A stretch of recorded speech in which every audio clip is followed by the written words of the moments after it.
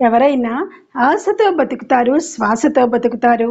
కానీ కారా మాస్టారుగా ప్రసిద్ధి చెందిన కాళీపట్నం రామారావు గారు మాత్రం కథీతన ఆశగా కథే తన శ్వాసగా బతికారు. ఆకాశంలోకి ఎగిరిన ప్రతి పక్షి సాయంత్రానికి గూటికి చేరినట్టు ఎక్కడ ఏ పత్రిక ఆకాశంలో మంచి కథ అచ్చు అయినా అది కథానిలయం గూటికి చేరేలా చేశారు. కథలన్నీ కంచికి చేరుతాయనేది పాత మాట. ఏ కథ అయినా కథానిలయం చేరాలనేది కారావారి మాట. తొంభై ఆరేళ్ళ సంపూర్ణ జీవితం జూన్ నాలుగున ఆగిపోయింది. ఊహ తెలిసినప్పటి నుండి ఊపిరి ఆగేంత వరకు కథే ఆయన ప్రాణమైంది. వెధలను కథలుగా మలిచి రాశారు కథలను రాయించారు కథలతో ప్రయాణించారు కథే జీవితంగా గడిపారు.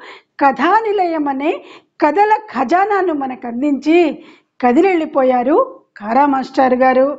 పంతొమ్మిది వందల ఇరవై నాలుగు నవంబర్ తొమ్మిదిన లావేరు మండలం మురపాకలో జన్మించారు కాళీపట్నం రామారావు గారు. పంతొమ్మిది వందల నలభై ఆరు మార్చ్ పంతొమ్మిదిన సీతా మహాలక్ష్మితో వివాహం జరిగింది. పంతొమ్మిది వందల నలభై ఎనిమిది జూన్లో తన ఉపాధ్యాయ వృత్తిని విశాఖలోని సెయింట్ ఆంథోనీ స్కూల్లో మొదలుపెట్టారు. డెబ్బై తొమ్మిదిలో రిటైర్ అయ్యారు. పంతొమ్మిది వందల నలభై మూడులో వీరి తొలి కథ ప్లాటు అనేది చిత్రగుప్త అనే పత్రికలో అచ్చయింది. వీరు తన తొలి రచన పోస్ట్ కార్డు మీద రాయడం అనేది విశేషం.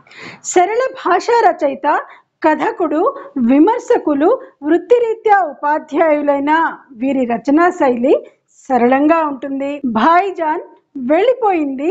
వెనుక చూపు నిజమే. నేనెందుకు రాశాను వ్యాసం? తీర్పు ఇల్లు యజ్ఞం మొదలైనవి వీరి సుప్రసిద్ధ రచనలు. పంతొమ్మిది వందల అరవై ఆరులో వచ్చిన యజ్ఞం కథలతో సాహిత్య లోకంలో తనదైన ముద్ర వేశారు కారా మాస్టారు. వీరు విరసం సభ్యుడు కూడా.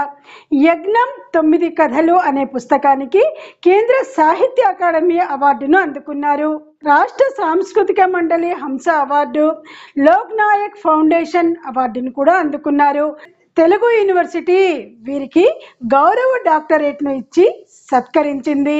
సాహిత్యం సన్మానాల ద్వారా వచ్చిన నగదుతో పంతొమ్మిది వందల డెబ్భై ఏడులో కథానిలయాన్ని ఏర్పాటు చేశారు కారా మాస్టారు కొంతమంది పుట్టినది ఎందుకో తెలుసుకొని ఆ పనిని సంపూర్ణంగా చేసి ఖ్యాతి గడిస్తారు.